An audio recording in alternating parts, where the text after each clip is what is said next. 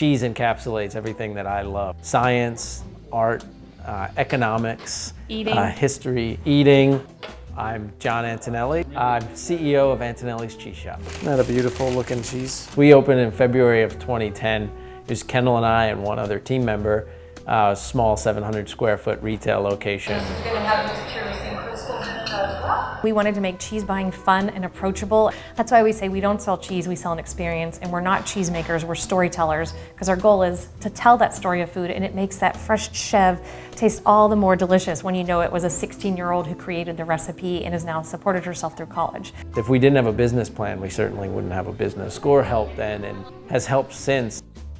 Our mentor, Jim Grimsley, has uh, really helped develop a stronger sort of marketing presence, get our focus on job descriptions and hiring, and put together hopefully what will be a better foundation for a larger business. We're going to tell you more about the cheeses, where they come from. We host over 200 cheese tasting classes and private events a year.